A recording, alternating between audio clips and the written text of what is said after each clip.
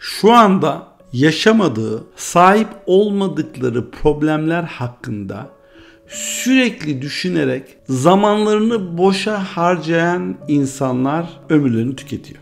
Şu anda o problemler yok. Birçok Almanya'da yaşayan, Avrupa'da yaşayan Türkçe konuşan insanların ortak problemleri bu. Hayatlarında en büyük engellerden bir tanesi kendisine ait olmayan veya çözemeyeceği bir problem hakkında uzun uzun konuşması, zaman harcaması, ömrünü tüketmesi, kendisini hiç alakadar etmeyen sorunları gündemde tutması. Hiç şu anda o problemi yaşamadığı halde o problemi konuşması. Bu enerjinizi tüketmek ve zamanınızı kaybetmek demektir.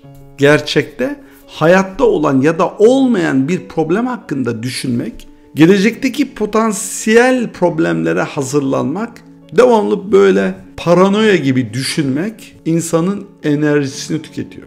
Enerji kaybı. Çünkü korkuların, endişelerin %96'sı hiç karşılaşmayacağın, hiç olmayacak, gerçek olmayan korkular. İşte insanoğlu Almanya'da yaşayan, Türkçe konuşan insanların en çok enerji tükettikleri sorun bu. Hiç karşılaşmayacağı, yaşamayacağı problemlere yani hayatının enerjisinin %96'sını oraya harcaması. Ve sadece %4'ünü kullanması.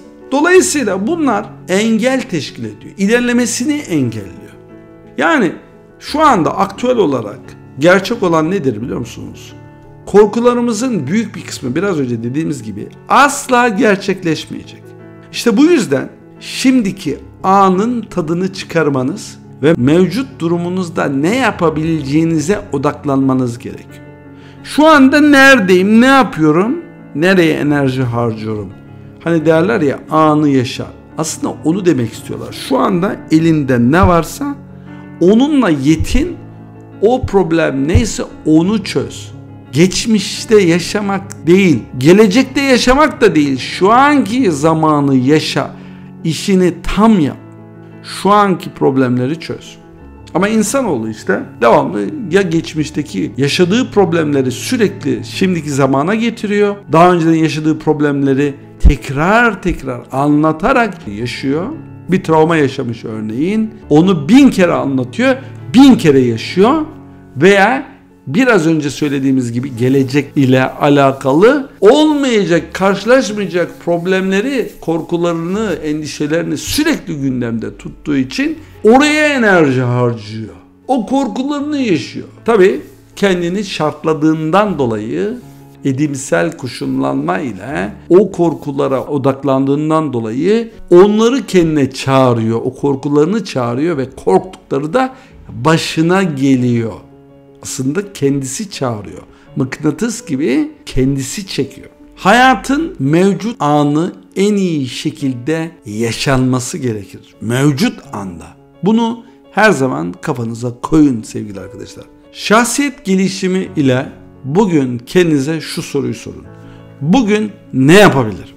Kime iyilik yaptın? Neyi değiştirebilirim?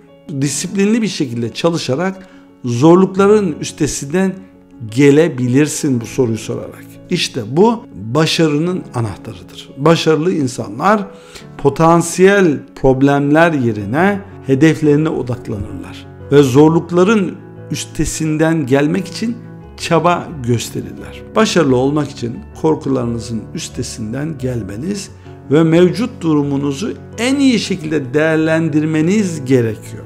Kendinize inanın ve azminizi kaybetmeyin. Asla. Unutmayın. Yaşamın büyük bir bölümü disiplinli çalışmaya dayanır. Disiplin kazanmak gerekiyor.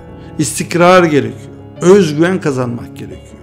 Bu da ne ile oluyor? Bu da şahsiyet gelişimi eğitimiyle oluyor şahsiyetini geliştirmen lazım.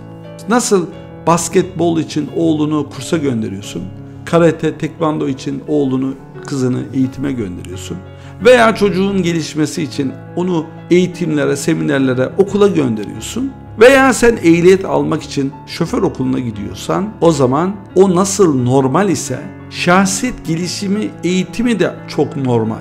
Ayıp bir şey değil ki kendini geliştirmek. Kişilik gelişimi eğitimlerine katılmak kötü bir şey değil. Herkesin hayalleri var. O hayallere ulaşabilirsin. Ama o neyle oluyor? Şahsiyet gelişimi eğitimiyle oluyor.